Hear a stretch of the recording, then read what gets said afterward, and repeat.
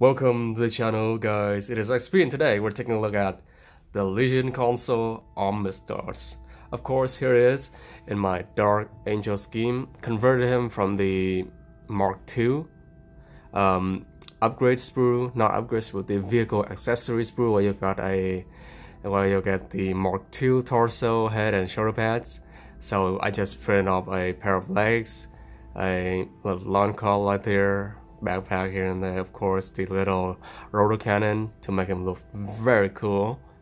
And as per usual, all the relevant uh, files and uh, STL links will be put down the description below, or at least their information. So yeah, turned out pretty well. You can see here's a little bit glossy from the sheen. It's not that glossy in person, it's just a satin varnish I sprayed. So yeah, the regular old black and reds of the Dark Angels, the backpack went out pretty great. Did give him a little more mm, ornamented looking backpack. So you can see, got a little book right there. I really like the combination of uh, blue and gold, a pretty classic color scheme. Looking noble and such.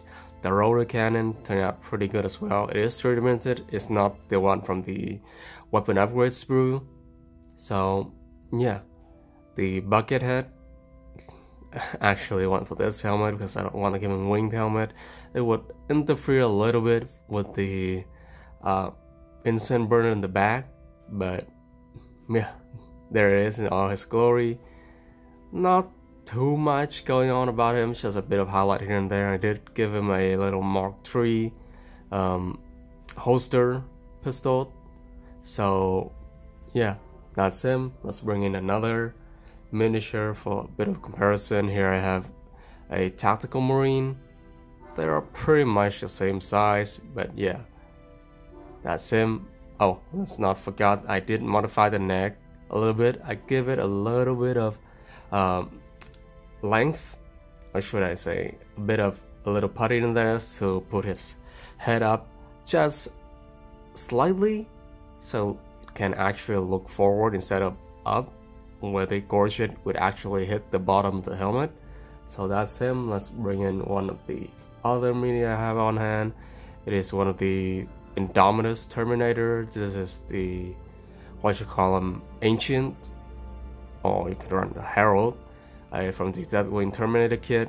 So yeah it's pretty much as tall as a Terminator. Foot height, height wise so yeah, that's him. So yeah, pretty short one this time.